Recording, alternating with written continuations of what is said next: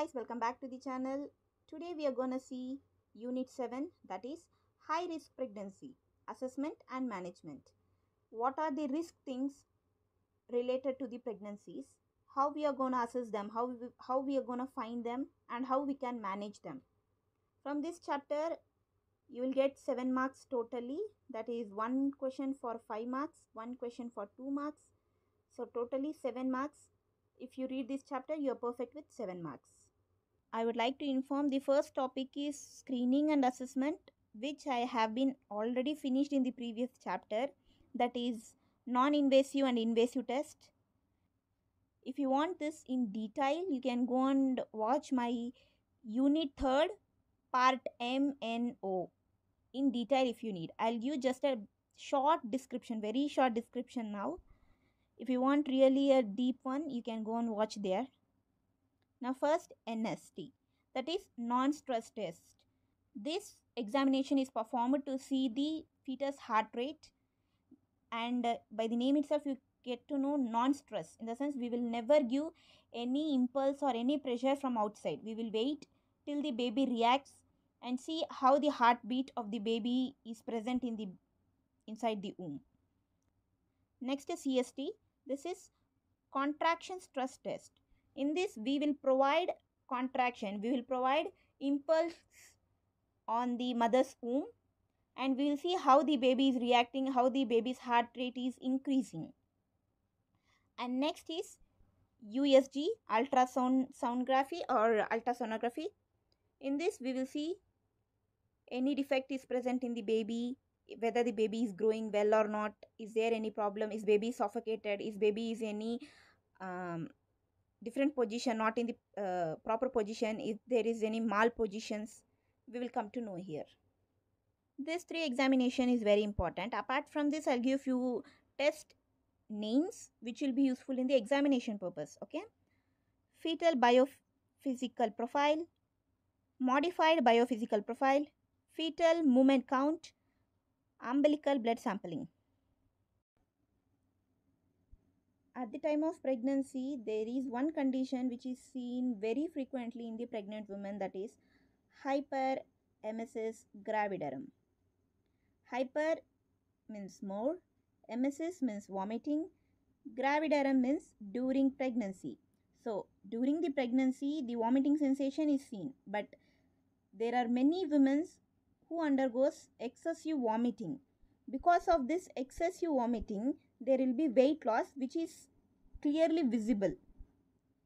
And uh, because of this, there will be water imbalance that is electrolyte discharge imbalance and even ketonuria. The cause for this is hormonal change and psychogenic change. Hormonal change is because at the time of pregnancy estrogen and progesterone level estrogen and progesterone level will be increasing vigorously because of this hormones vomiting sensation is seen and if you see the psychogenic is nothing but because of the anxiety in the patient the vomiting sensation is seen and apart from this there are few minor reasons also because of allergic re reactions and because of some kind of food items the patient feels vomiting. Sign and symptoms of hyperemesis gravidarum. Definitely vomiting, but apart from this, we have dehydration, the eyes gets inside that is sunken eyes, tongue becomes dry, dry tongue, hypotension. Because of excessive discharge of electrolytes, the BP gets low. And if this condition lasts, it may lead to jaundice also. How this is investigated?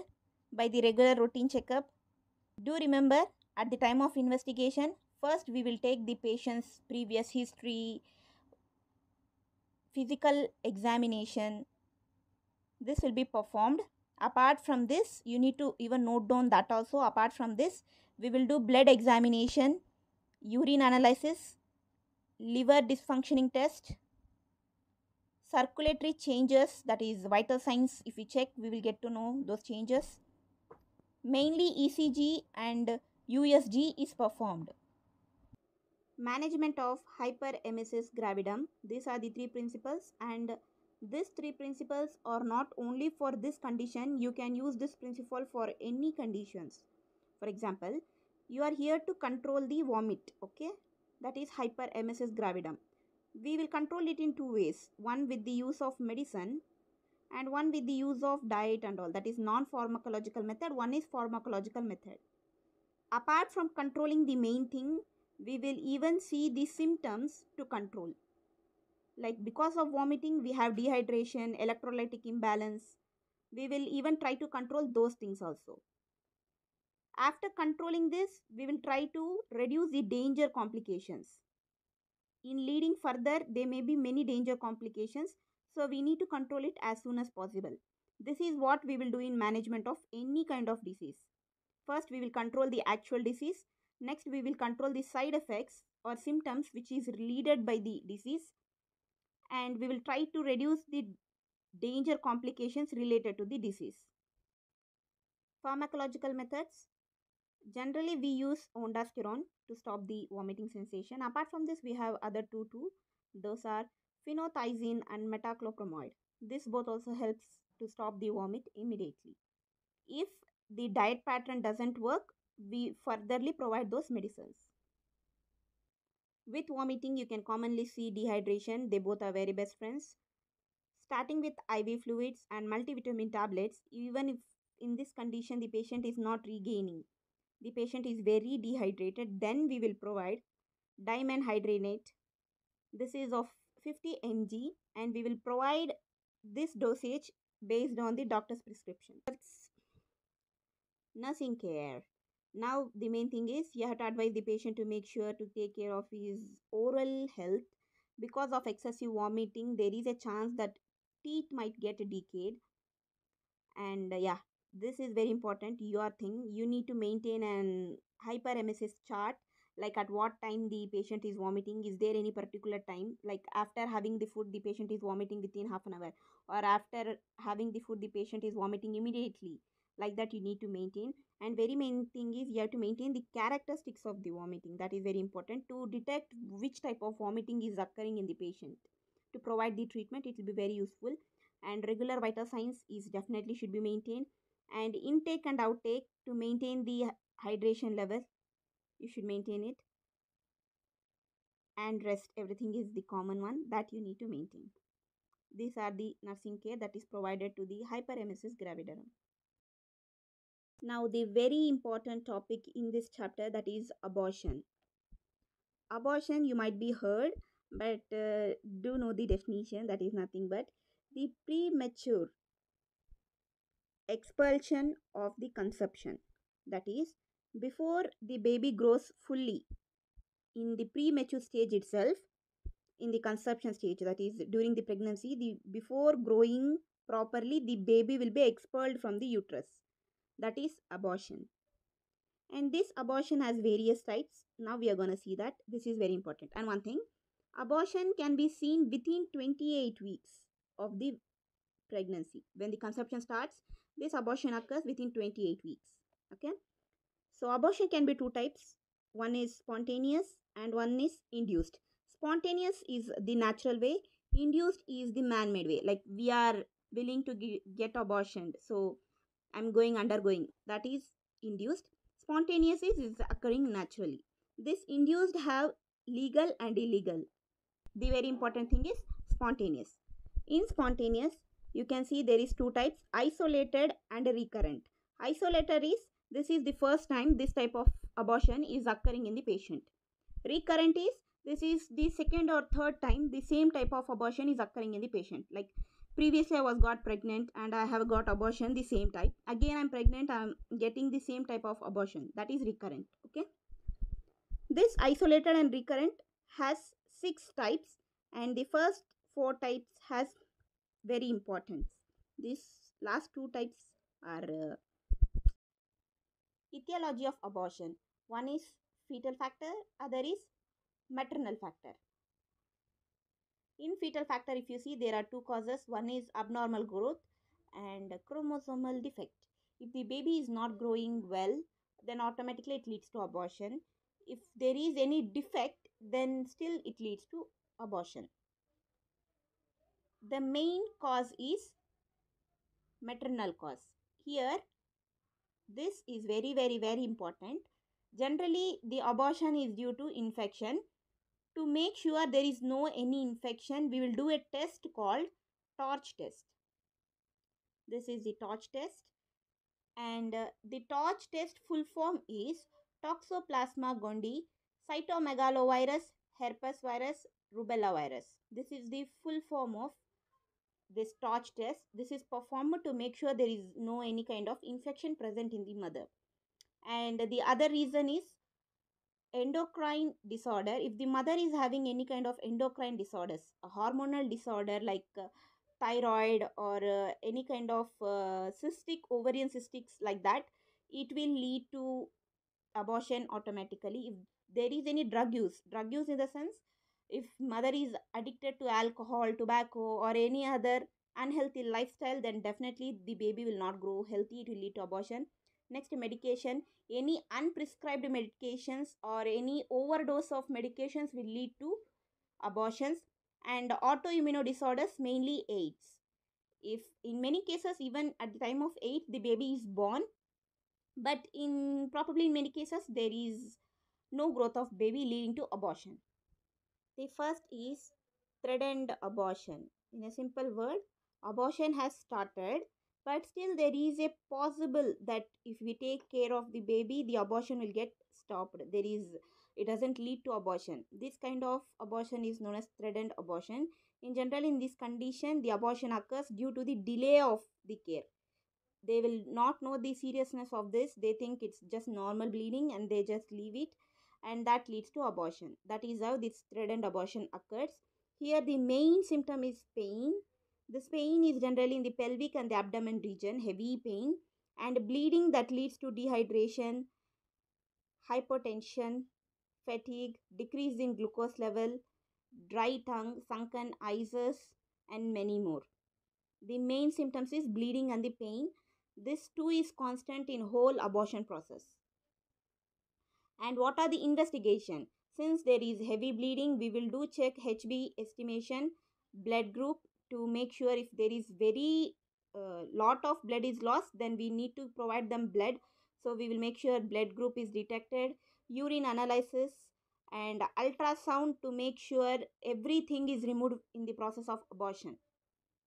Next treatment is given mild sedative and tocolytic drug is provided iv fluid to make sure there is no dehydration and further thing the main medication or the treatment that provided here is bed rest. This is the main one. We will advise the patient to take bed rest till the bleeding stops. It's generally recommended for a week to 10 days. Within that the bleeding stops. And good diet helps to regain the loss. This is threatened abortion. Inevitable abortion. In this, the abortion process started, but there is no chance of recovery. That is inevitable abortion. In this abortion, you can see there will be lots of vaginal bleeding. Generally, everything this bleeding and pain is common. Okay, this bleeding and pain is common.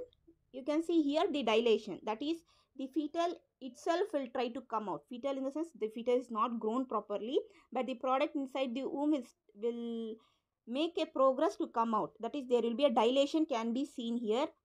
What are the investigation generally in whole abortion process? The investigation is very simple. We have to find the hb count blood group pain level will be assisted to provide uh, painkillers urine analysis will be assisted ultrasound will be done.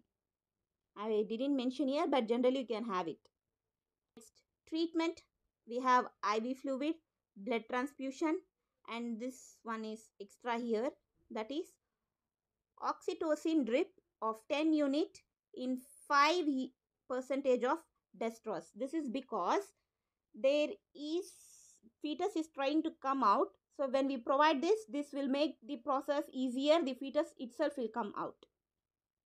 For the ejection purpose, we provide this medication and for this the main nursing care that we need to provide is psychological support and explain the process what's going on and provide the treatment. This itself not you can add more than 15 points to this process.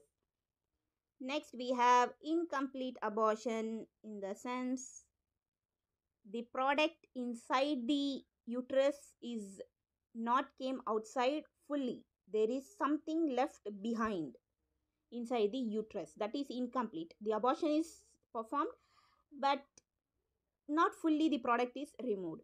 And here if you see there will be excessive the bleeding is the only reason that leads to this incomplete.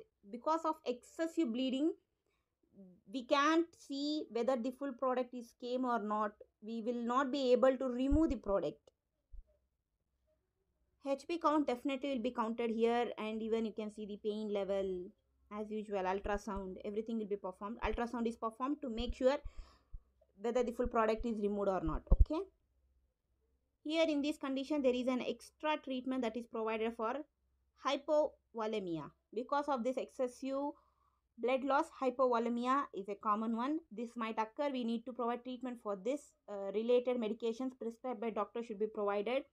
Sedatives to reduce the pain and uh, iv fluids to maintain the level of energy. And uh, comparatively in all the abortion process this abortion process requires more time longer time. So care is also should be provided based on that. Mainly pain is the main source here. So we need to provide the care for the pain. Complete abortion. Complete abortion in the sense abortion has occurred and we have removed everything. Very simple process. In this process the uterus opening also will be very small bleeding will be very less so the treatment is not very major. Routine checkup with that ultrasound to make sure there is nothing left out. That's it. Iv fluid and painkiller will be provided. Just complete rest is enough with good diet and good support. This patient will get recovered. This is all about abortion. Abortion is not just based on the process. Even based on the site the abortion occurs or abortion made man made that is these are the things. Ovarian pregnancy abdominal pregnancy tubal pregnancy or ectopic pregnancy. Again pregnancy in rudimentary uterine horn. That is see if a woman is pregnant the egg should come and get attached in this uterus region. That is the normal pregnancy and that is how the pregnancy should occur this will lead to the good growth. But when the egg is coming from this ovary this is ovary okay? From this ovary if this egg is traveling sometimes in some cases the ovary will get attached here itself and start to grow here. This is ovarian pregnancy. Or sometimes it goes this way this in this tube fallopian tube in that region this fallopian tube in this region the egg starts to sit here and get deposit there and starts to grow there itself. Can a fallopian tube get expanded? As the uterus can expand?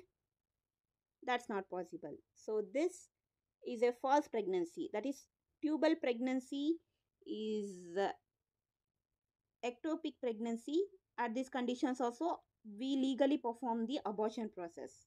And abdominal pregnancies and other regions. Based on the site also the abortion is performed. Apart from this uterus site if the egg goes and deposits somewhere like in the fallopian tube or near the ovary then we legally perform the abortion. Aph this is one of the main disorder that is seen in pregnancy that is antepartum hemorrhage. Anti in the sense before partum pregnancy hemorrhage in the sense bleeding and blood clots both considered to be in this. A bleeding occurs from the vaginal area that is from genital area bleeding occurs that too before 28 weeks of the pregnancy. In the middle of the pregnancy if there is a bleeding is occurring if a bleeding is observed that is considered aph in that we have various types and these two are the main type in that.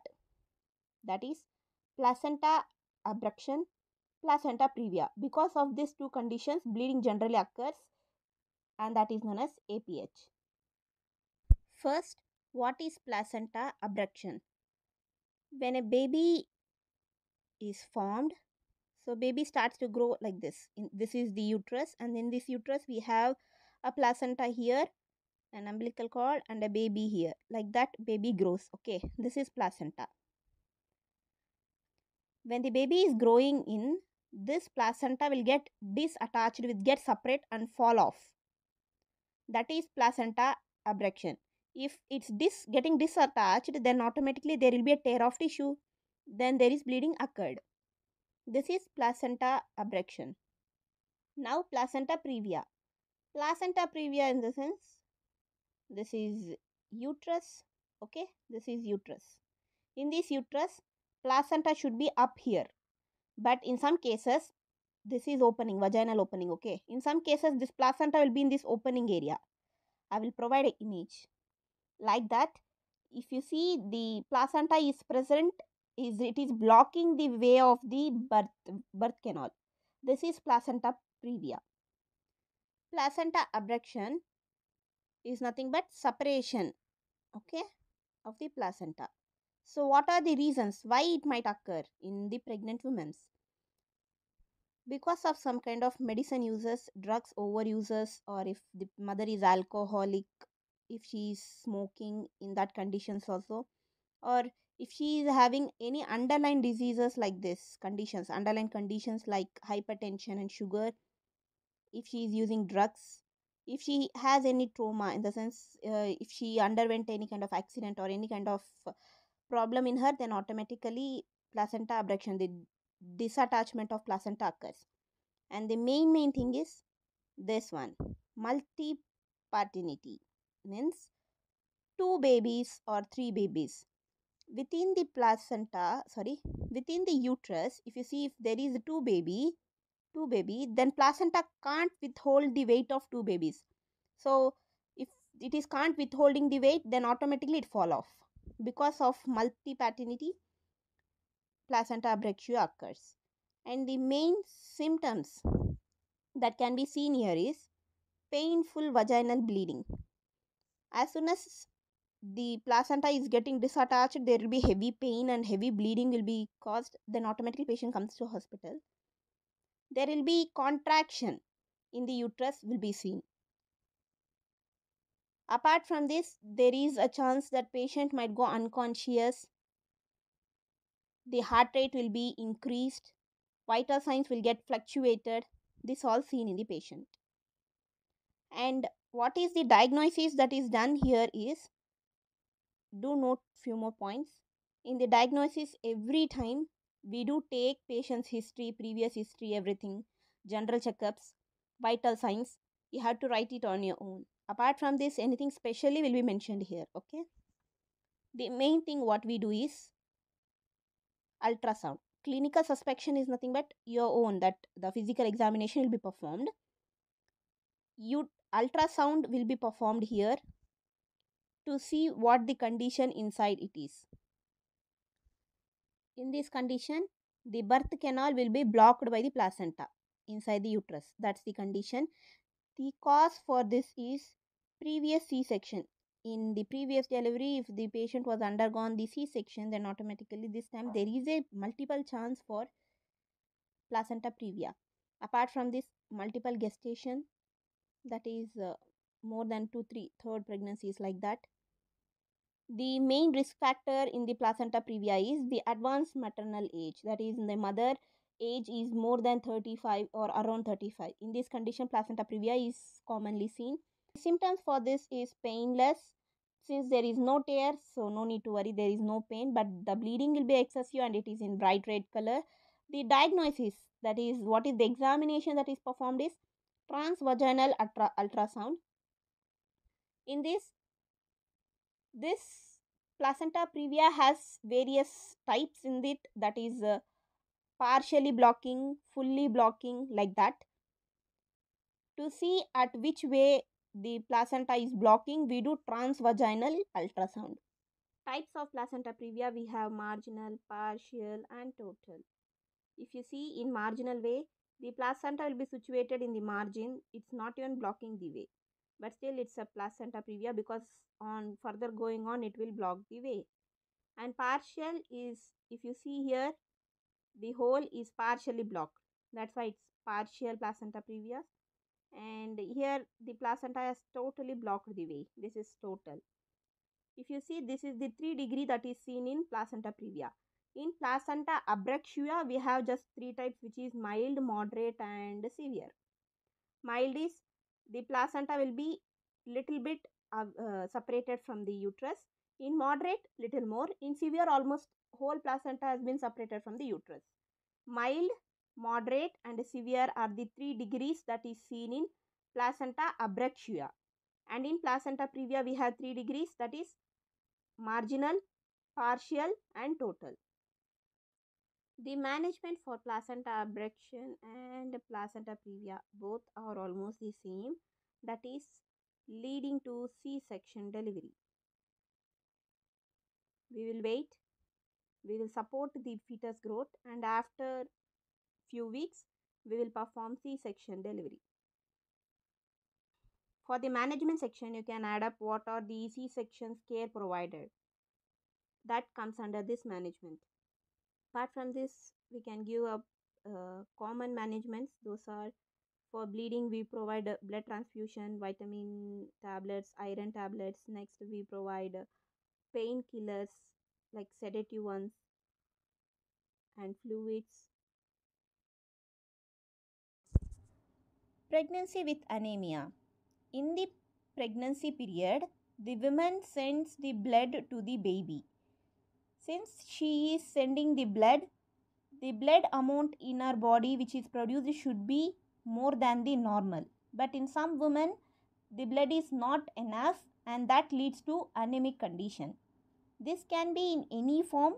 Come let's see its classification it can be normal physiological or pathological form of anemic condition or else because of any deficiency also this anemic can occur.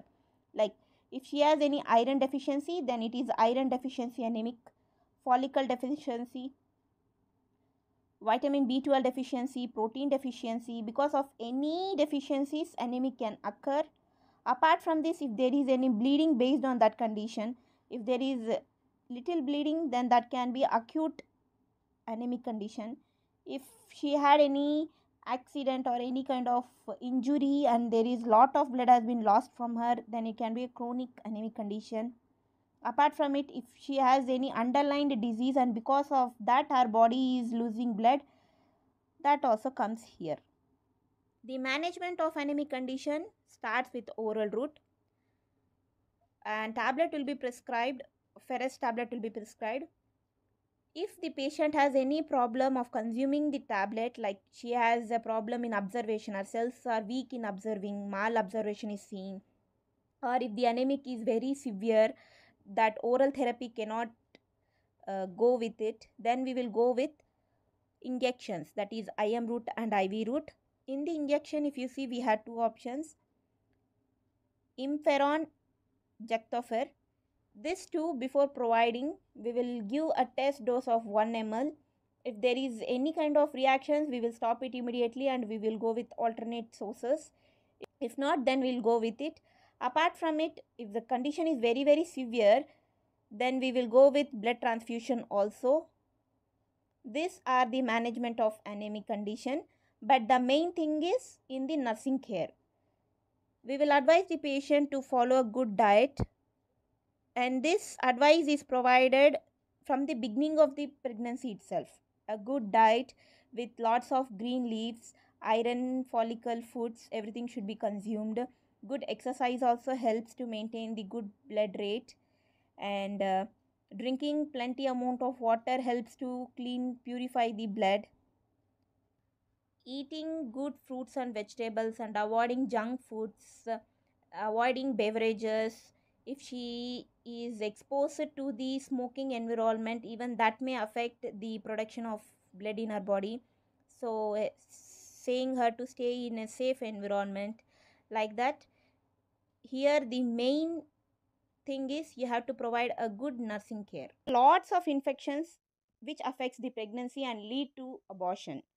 To avoid that there are lots of precautionary measures which are taken in the form of monthly checkups if you see a pregnant woman will go for hospital regularly for routine checkups in these checkups we will make sure the baby is healthy, it is growing in a healthy way, there is no any complications that affects the pregnancy. In that one thing, infection is very important. Infection can be seen in a pregnancy in three ways. First, inside the uterus in the form of intrauterine fetal damage and it is also known as congenital infection.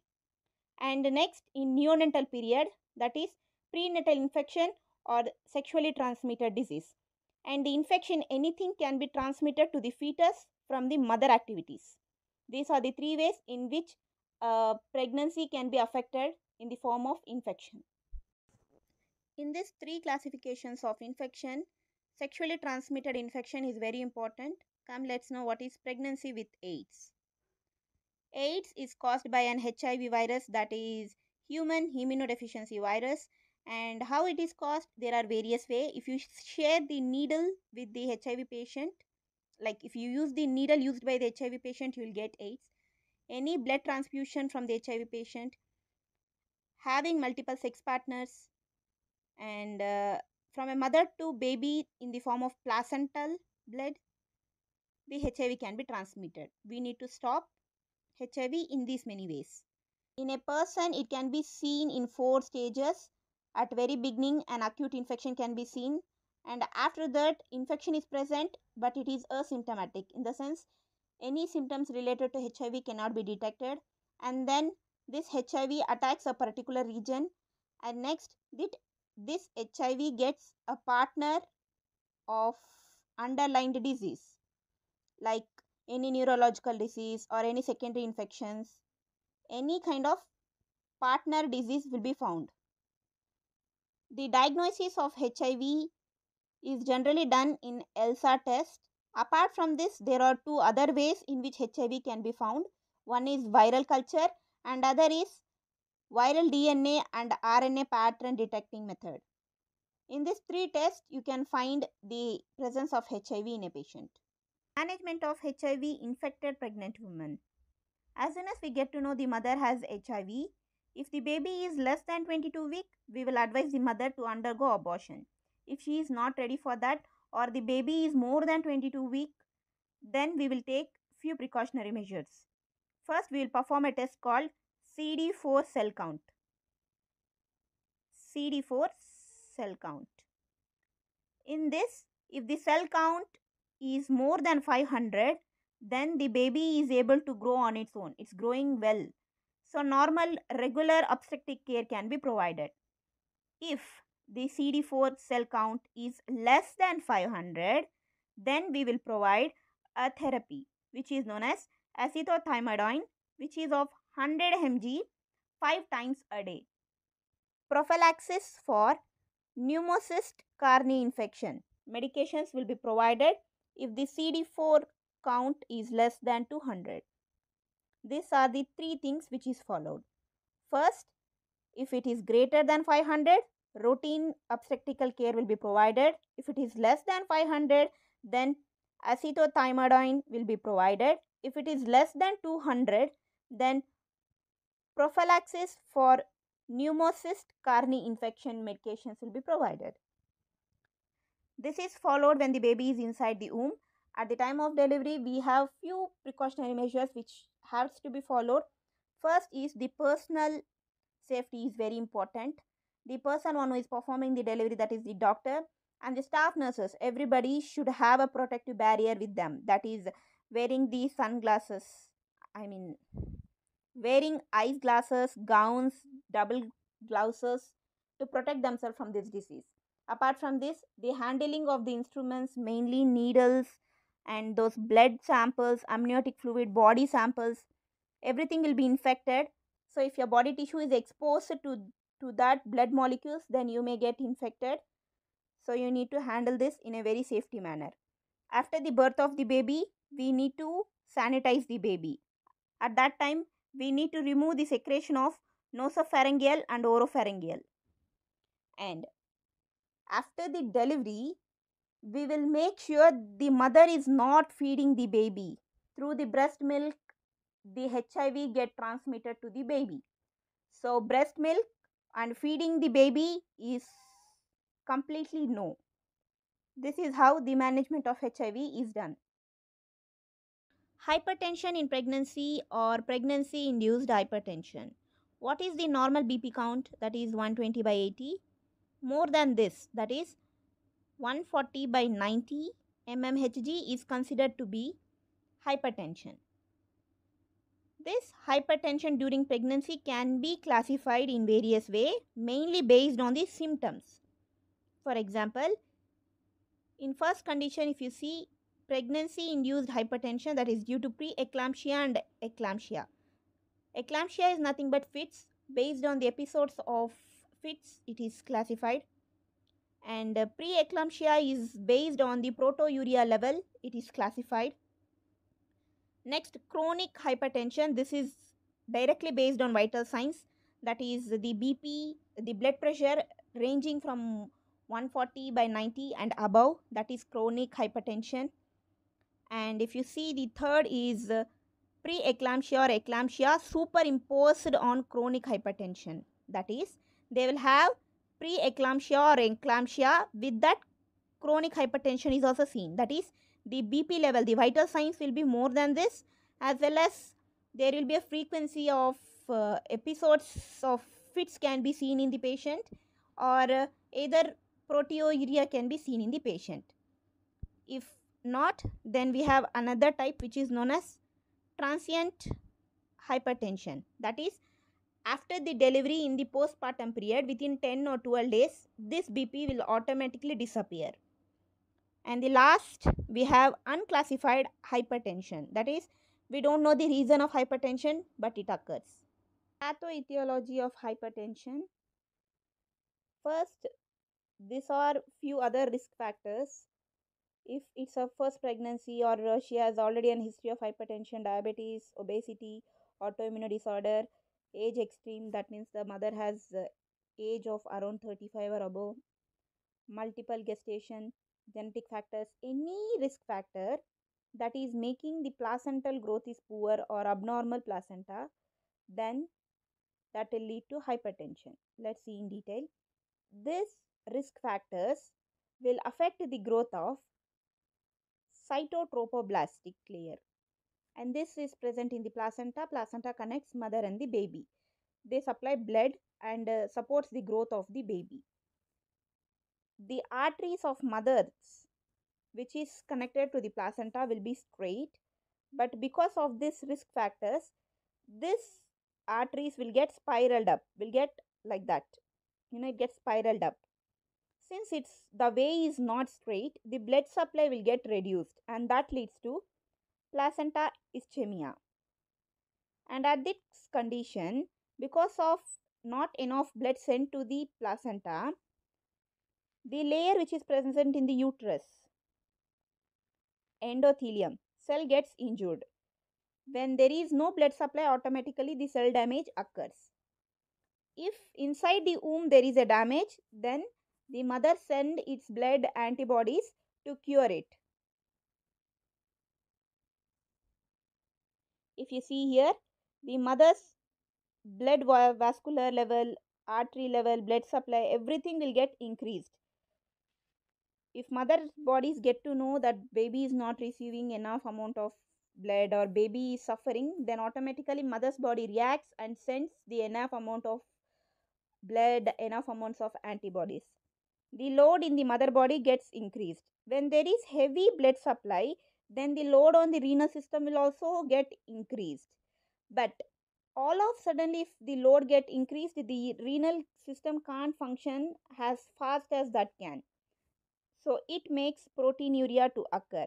And this is how hypertension is increased. When there is a heavy blood pressure when there is an uh, artery pressure increases when there is increased vascular then automatically hypertension occurs. This is how hypertension occurs the diagnosis of hypertension is very simple that is the vital signs bp evaluation apart from this we will perform urine analysis and ask the details about the seizures episodes. It's because if you see in preeclampsia, we will come to know the proteinuria level is more and uh, eclampsia is nothing but the episodes of seizures. So if we get to know about the details of this, we can classify the hypertension and provide treatment based on that. Management of hypertension. If you see more than hypertension, the seizure is given the priority. First, we need to prevent the seizures. And it is performed by providing the magnesium sulfate solution. See, this is provided in two ways. One is 2 grams in 8 ml and other is 4 grams in 12 ml. We give it by diluting in the diluted water. And if you see for hypertension we provide calcium channel blockers. At any condition we don't provide ACE inhibitors and diuretics. ACE inhibitors and diuretics both are contraindicated for for fetus leads to fetal damage next management is done during the delivery of the baby if the mother has lots of frequency of getting the eclampsia, getting the seizures, then the delivery will be performed in the C-section or else we will try to perform it in the normal way. This is the management of hypertension. Gestational diabetes mellitus. During the pregnancy, there are lots of changes seen in the women body like increase of hormone, decrease of hormone, placental growth, fetal growth, exchange of blood, antibiotics, so like that there are lots of change seen in the women's body. In that time there are lots of health issues that occurs in the female body. In that diabetes mellitus is one among them. That is nothing but glucose intolerance.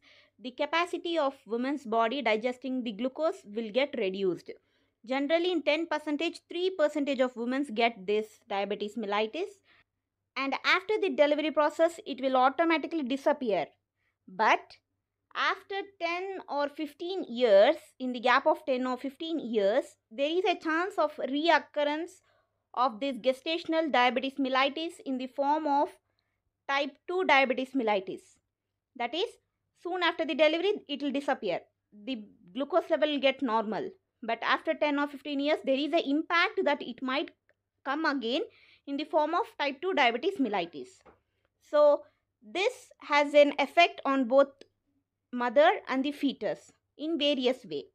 Firstly, there is a chance of preeclampsia to occur in the women and this chance is quite increased when the woman has diabetes mellitus. Not just preeclampsia, eclampsia is also seen, seizures chances is also increased and infection as you know at the time of pregnancy and deliveries infection is quite commonly seen and this chance is also quite increased Mainly endometrium is the common condition seen in this and the chance of PPH is also increased. Now what is PPH? Postpartum hemorrhage. After the delivery, the bleeding which is seen that is postpartum hemorrhage. Because of this diabetes mellitus, the curing, the healing process will get reduced and uh, the tear which is a tear or the womb which is occurred in the delivery process will not get closed fastly, will not get healed fastly because of the PPH is seen in the large number. And C-section cases is also increased because of this diabetes mellitus in the pregnant women. Apart from this, there are lots of other things too. Because of this diabetes mellitus, there are other health conditions will also be developing. For example, hypertension which is quite commonly seen. Hypertension the chance of developing the hypertension is also seen. And other health conditions like anemic condition in the women or any other hormonal imbalance conditions can be seen when the woman has diabetes mellitus. Diagnosis of diabetes mellitus that is done by FBS fasting blood sugar or fasting blood glucose Soon after waking up without consuming any glucose, we need to take the sample of our blood and perform the examination. If it is around 90 mg percentage, it's okay. If not, it is more than that, then the person has diabetes mellitus. Apart from this, there are different tests too like RBS, random blood sugar or PPBS This RBS and PPBS is performed after consuming the glucose. And at this time, the count can be around 120 mg percentage. But more than this is again a problem. More than this again indicates the person has diabetes mellitus. The management for these two condition is based on the risk level. If the risk is very low, that is the count is around this, then the risk will be very low. It can be managed by the process of diet. That is non-pharmacological method is enough if the risk is very low. If the person has more risk, there is a problem in further it may affect the delivery process and all, then we use pharmacological methods. We provide insulin to the mother. Management during delivery is very important. We will wait till the delivery is happening on its own. If not, we will perform C-section. And one thing during the delivery process, we will make sure the sugar level, that is the blood glucose level, should be around 80 to 100 mg.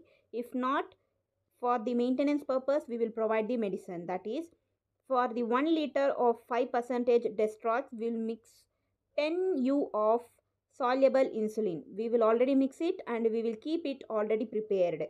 And then we will keep on monitoring the blood glucose level. If the rating is around 70 to 130 mg, then we will provide 1 u per hour. If it is 130 by 160, then we will provide 2 u per hour. If it is 160 by 200, then the count we will provide 3 u per hour. Like that, based on the count of blood glucose level, we will provide the insulin. Pregnancy in Rh negative women. See, blood has three things mainly RBC, WBC, and platelets.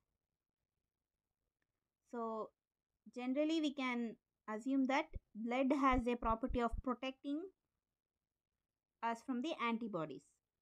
If mother has any problem, the baby in the womb send its cell to the mother and protects the mother from the illness. If baby has any problem, mother send its cells and antibodies to protect the baby from the illness or any damage or any infection. This function is performed in the pregnancy period. But it is only performed when they both share a similar kind of features, similar kind of system. If, for example, mother has Rh negative in the blood and fetus has Rh positive, then automatically mother cell, the mother cells, the mother antibodies think the baby's antibodies are foreign particles like viruses or bacteria and mother itself start to kill her own fetus. See, when they both share different Rh, then the mother antibodies thinks the fetus antibodies or fetus has an foreign particles and send its antibodies and hemoglobin that passes the placenta and reaches the baby and they start to kill the baby. Beginningly, it will come in the form of anemic. Blood will be reduced, then heart functioning will be reduced, then automatically edemus and in, inside the uterus itself the fetal will be dead. To find whether the mother and baby are sharing different Rh or uh, to find whether the mother is killing her own child or not, we have a test called Coombs test that is indirect Coombs test. In our body, if we find any kind of foreign particles, then automatically our blood starts to produce large amount of antibodies. And mainly in this condition, Rh isoimmunity will be produced in a large amount. By seeing that count, we will get to know whether their system is okay with both or they are not okay with both. In management, we will follow a process. First, we will see whether father and mother are following which kind of RH. If, for example, mother has negative and father has negative, then no need to worry. The chance of fetus having positive RH is very less. So, we can follow normal pregnancy measures. If, for example, mother has negative RH and father has positive, then at the time of pregnancies the routine checkup will be going on monthly wise right at that time the screenings will be performed the first screening will be around 20 next 24th week next 28th week in every week the screening will be performed for example if the screening is coming negative then we will provide anti d immunoglobulin injection which is of dose 300 mg while if it comes positive we will provide an injection to sensitize or to suppress the action of RH. I'm sorry because there is nowhere the suppression injection is mentioned here. The name of the injection is not mentioned here. So I can't provide the perfect name of the name but for the treatment purpose they will provide a suppression injection to reduce the action of rh negative thing this antibiotics to kill the baby which is produced will stop the production of it and one main thing during the antibiotic screening on the result if you see if you get the count of 4 4 iu by ml if you get then there is no problem you can you can follow it's a negative sign if you get above 10, then there is a problem which indicates it's a positive. It's all about management of Rh negative. Hydatidiform mole or also known as vesicular mole. This is nothing but when an embryo is formed, the embryo start to degenerate in the sense the baby is not developing properly inside. Inside the cells which is present inside the embryo will start to degenerate in the sense they start to die and start to expand and they start to leak out. This is also considered as a cancerous mole. Here, abortion or the removal of this part is very, very important. This is done immediately after confirming there is a presence of vesicular mole. Sign and symptoms seen in this are abnormal bleeding. This bleeding is not continuously seen in one flow. Ups and downs are seen. For example, if today the female is feeling heavy bleeding, suddenly at the afternoon or the night section, the bleeding will be completely nil. And suddenly after one or two days or next day itself, the bleeding is again high. This is how the up and down bleeding will be continuing and abdomen pain is constant and it will be increasing gradually day by day when this uh, condition is getting more worse. Vomiting sensation is seen because of chorionic gonadotropy breathlessness tiredness everything is seen and uh, this condition can lead to severe conditions like preeclampsia most likely to lead an hypertension conditions sugar bp will occur convulsion is the last condition that occurs in this case. And the diagnosis of this condition is first because of irregular bleeding and heavy bleeding we will check the blood count and the type of blood group.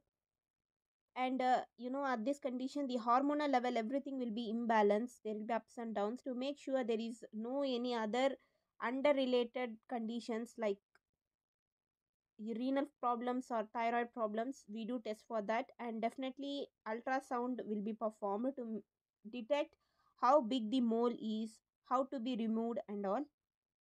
And while this you know one thing to remember the first management that is done is soon after detecting the first thing we do is that removal that is emptying the uterus. This emptying the uterus requires some criteria that is the age of the patient at what condition this mole is and how big the mole is is patient is ready for this operation or this act we will see every criteria and then we will perform the act. And before performing the act there are actually two types. First of all the mole you know if it is deep inside the uterus then we need to remove it. And there are few moles which are almost about to fall. There is no need of performing the act like they itself will fall off. Okay either they are about to expel or we need to insert and expel it. We should see that. And then after the case will be proceeded. The removal of this mole is done in this two way hysterectomy or hysterectomy. This two procedure if you see the first one is involving the cutting of uterus while second is involved cutting of the partial part. By based on the place and based on the size the procedure will be performed. After removing, we will provide chemotherapy Methotrexate 2.5 mg. This is given to make sure the HCG level hormone is normal. During the time of pregnancy, during the embryo is developing, the HCG hormone will be more. But in this process, we are removing the embryo, so the this level should become normal. All of sudden, it cannot become normal, so we will provide the medicine. Apart from this, other conditions based on that conditions, we will provide the medicines. Like if the patient is very dehydrated we do give iv fluids. If the patient has lost enough amount of blood then we will give her blood and blood transfusion will be performed. Iron tablets will be given calcium tablets will be given vitamin tablets will be given. Like that based on this condition it will be given but this is the main ma- management performed here Hydramnios or also known as polyhydramnios. This is a condition in which the amniotic fluid inside the uterus or inside the womb is produced more than enough. That is more than 2000 ml. This is polyhydramnios. This can be detected just by observing the uterus size. See, in particular month, the uterus should be only this much. In the in two months, it should be 30 centimeter. In three months, it should be 35 centimeter. Like that, there will be some kind of count. Like in one month, it should increase only two inches, like that. But if you see in this case, because of this amniotic fluid, the uterus will be expanded so big the size of the uterus will be very large that's the main symptom of this and the problem with this condition is you will be not able to listen to the fetus heart rate. Because of the distance you will be not able to listen to its heart rate. If you're not listening then what's the problem? You will not come to know whether the baby is healthy or not whether the baby is growing proper or not. There will be lots of problems upcoming with it. If you find this condition within 24 weeks of the pregnancy that will be considered as acute. If you find at the end of the pregnancy, that is chronic. What causes polyhydramnios? In mother, if they have RH isoimmunization, that is, you know already, mother and baby has different RH. If mother has diabetes, then this condition occurs. If mother has any cardiac or renal disease, then this condition occurs. Next, in fetus. Fetal cause is very simple. Multiple pregnancy, more than one baby, that is twin. Generally, amniotic fluid will be increased. If fetus has any abnormality in it, then also the amniotic fluid will be increased. Few examples for uh, fetal abnormalities are spina bifida, ureteropelvic junction obstruction, malfunctioning of lungs, Down syndrome, rubella sepsis. These are few examples of fetal abnormality. The signs and symptoms that is seen in this condition is dyspnea. There will be even a breathing disorder in mother.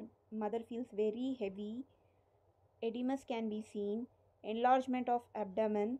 Mainly, if you see there is a swelling, you will know how the skin is there. So, since the stomach is very much enlarged, the skin here will be very shiny.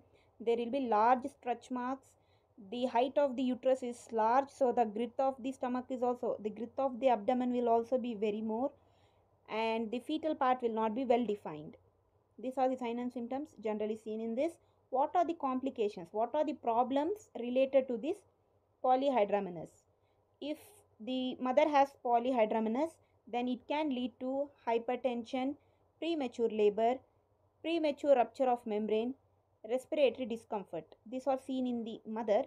Well, the fetus which is present inside the womb, that is intrapartum complications, are placenta abruptia, cord prolapse, placenta insufficiency, increased incidence of C-section is seen in this condition. Apart from this, after birth, if you see, because of this polyhydramnios, there is a chance that fetus may have congenital abnormalities. In the sense, by birth itself, there might be some kind of abnormality present in the baby. Diagnosis of this condition involves maternal antibody screening, diabetic screening, torch serology. If everything comes negative and still we have uh, polyhydramnios, it's quite common. Sometimes the cause is not known, and we will start to give the treatment for the patient. And the treatment is nothing but amniotic fluid decompression. We remove the excess of amniotic fluid present in the uterus. And at the time of delivery, we will make sure the delivery is the normal delivery. If there is any complications that is stopping the normal delivery, then we will undergo C-section. This is all about polyhydramnios. There is a small thing to be noted. It's a small topic that is uh, oligohydramnios. I'm going to teach you with comparing it with polyhydramnios. Just now we have been completed polyhydramnios. Here the amniotic fluid level will be more than 2000 ml. But if you see polyhydramnios is the condition where the amniotic fluid is less, very less, less than 200 to 500 ml. When the amniotic fluid in the womb is more, that is polyhydramnios, whereas if the amniotic fluid in the womb is very less, that is oligohydramnios. In this condition, in polyhydramnios, the uterus size will be very large. But in the oligohydramnios, the uterus size will be very much small. Then in this condition, in polyhydramnios, if you see, we can't hear fetal heart rate. It's because it is faded here. Because of the distance, the fetal heart rate cannot be heard properly. And here in oligohydramnios also you can't hear fetal heart rate. It's because the fetal is not well active in this condition. Because of no amniotic fluid, the fetal can't move. The fetal is not active. Because of not active, we can't hear fetal heart rate properly. And remaining everything is almost same. For example the uh, premature rupture of the membrane fetal congenital abnormalities fetal growth problem everything will be same. They both differ in one thing that is treatment. In the treatment if you see in polyhydramnios we will try to make sure the delivery is normal or c-section this is what happens in polyhydramnios. But in oligohydramnios, we will try to undergo termination. We will try to abort because here without amniotic fluid, without the proper level of amniotic fluid, we can't undergo the pregnancy in a healthy way. So normally in oligohydramnios, we will see the possibilities of termination whereas in polyhydramnios, we will see to make sure the delivery is happening in the normal way. Multiple pregnancy. If there is a formation of more than one fetus at a time, then that is multi multiple pregnancy. If there is a formation of two fetus, that is twins. Three indicates triples. Four quadruples. Five quintuples. Let's see the classifications of twins. In this, we have two main types that is binovascular twins univascular twins. In binovascular twins, in the one cycle we have two ovaries and two sperms get fertilized and two eggs form, two babies get formed. That is binovascular. But in univascular, one egg will be formed but two sperms get fertiled in it and in further development this one ovary get divided into two and two baby is formed. That is univascular. In binovascular, the sex of the baby is generally different. But in univascular, the sex of the baby having same sex is the common thing seen in the univascular. But in some conditions, the it might be boy and girl. But generally in univascular, the baby will be either boy or girl. univascular twins has few terms monochorionic, diamniotic monochorionic, diamniotic dichorionic. So here chorionic indicates placenta, amniotic indicates amniotic sac, the bag surrounding the baby. So the first condition is monochorionic. Both babies are connected to one placenta that is monochorionic and diamniotic monochorionic is nothing but monochorionic that is one placenta but they have two baby sac that is diamniotic monochorionic. And next we have diamniotic dichorionic. Two placenta with two amniotic sac. This is the three conditions that is seen in unovascular twin. If for example at the formation of baby the baby is not separated, the egg is not separated, they are joined, the conjoined twins are known as Siamese twins. This is the classifications of twins. The cause for the multiple pregnancy can be many the food pattern, the environment, the lifestyle, if they are using any kind of hormonal tablet, those things, use of drug and alcohol, everything can be the cause of multiple pregnancy and sometimes the cause is not known. Diagnosis is very simple. During the pregnancy, the routine checkup will be performed. In that routine checkup, we perform sonography. By using sonography, we will get to know what is the position of twins and uh, how the twins are, what type of twin is present. Everything we will get to know. Based on that, the treatment will be provided. Complication of multiple pregnancy. In this condition, if you see, the chance of getting hypertension and other kind of underlying conditions like diabetes mellitus is increased here in the multiple pregnancy the chance of getting hypertension and diabetes mellitus is quite common if there is a chance of getting hypertension then do remember the cardiovascular system is also in danger apart from this because of this hypertension and diabetes mellitus the healing power of the body will get reduced so the postpartum bleeding will be increased. The postpartum duration will be increased in this multiple pregnancy stage. Since there is two babies or more than two babies, mother can't provide enough amount of blood to the baby. In this condition, anemic is quite commonly seen. Apart from this, preterm birth, that is before 9 months, the birth of the baby may occur and the last thing is it's very important that is when there is two baby is growing in the womb one baby grows very well very healthy whereas other baby doesn't grow so much good because only one baby absorb all the nutrition all the blood supply nutrition everything while other baby lacks in it this condition is known as twin to twin transfusion syndrome this is quite commonly seen in twins baby. One baby will be very healthy and well other baby will be very low in health. These are the complications of multiple pregnancy. These are the questions that may occur for the exam. It may come, may not come, but do practice well. Do like the video and support me. Meet you in the next video. Until then, stay tuned. Bye.